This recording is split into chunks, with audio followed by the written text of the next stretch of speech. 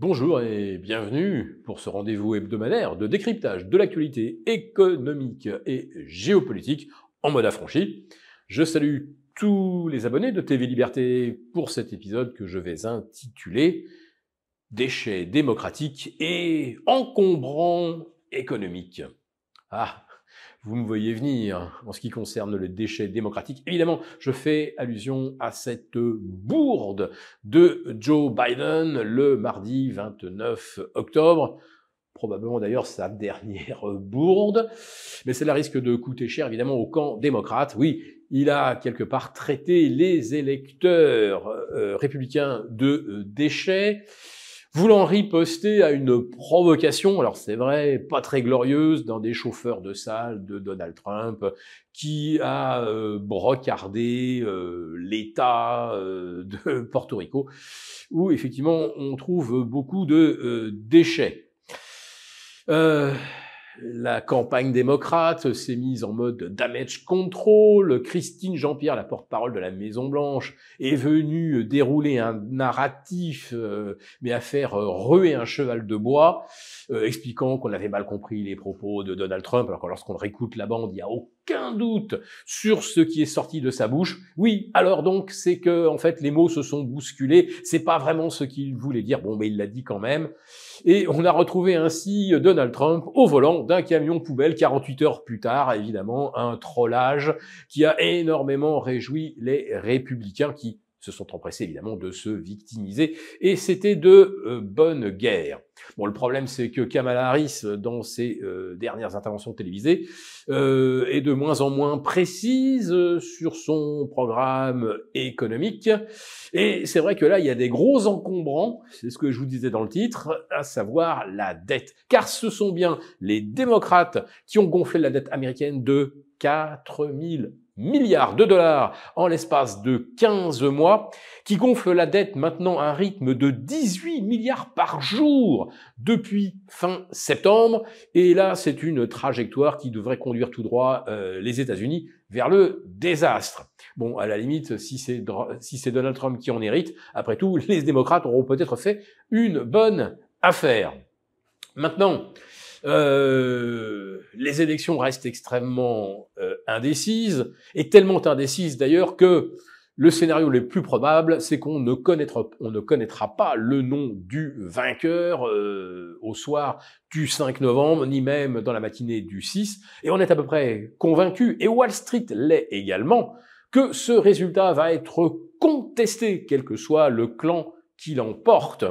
Alors, euh, bien sûr, côté républicain, on, pense maîtriser déjà la plupart des swing states, ce qui veut dire que euh, Donald Trump aura euh, le nombre de grands électeurs nécessaires.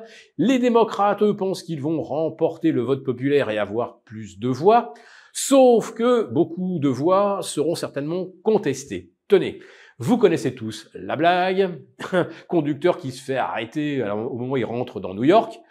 On lui demande ses papiers. Et là, il répond ah, mais non, euh, non, non, euh, pas de permis de conduire, pas de papier d'identité. Aujourd'hui, je vote. la même blague, euh, vous pouvez également la refaire dans le Massachusetts, dans le Vermont, Colorado, Californie naturellement, tous les États démocrates, où on peut effectivement, et vous l'avez compris, c'est pas une vanne, on peut voter sans carte d'identité, sans pièce d'identité. Bref, on peut faire trois bureaux de vote euh, et finalement, euh, on ne vous demandera rien si vous mettez un nom différent à chaque fois.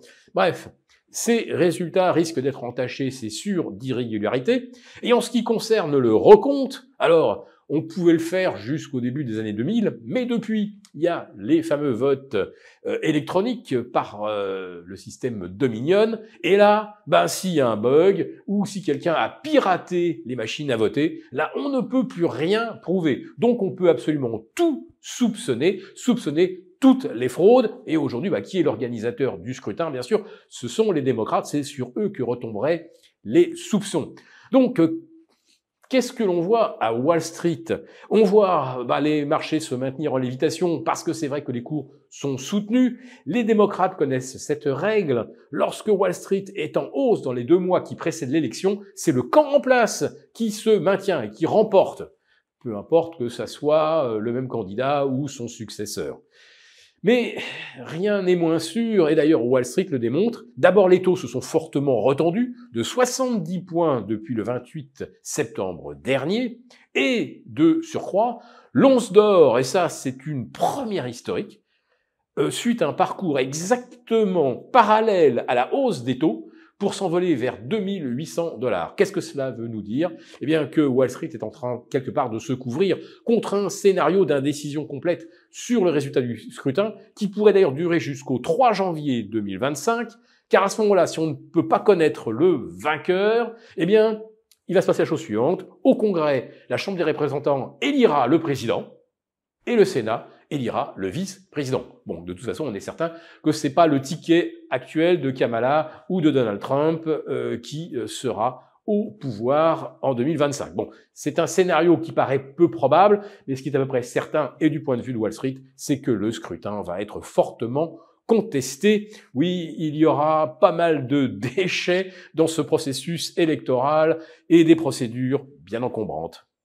Nous avons euh, conçu à votre attention un rapport spécial que vous obtiendrez gratuitement en cliquant dans le lien euh, en description de cette vidéo. Un rapport spécial qui analyse toutes les conséquences économiques, financières et patrimoniales.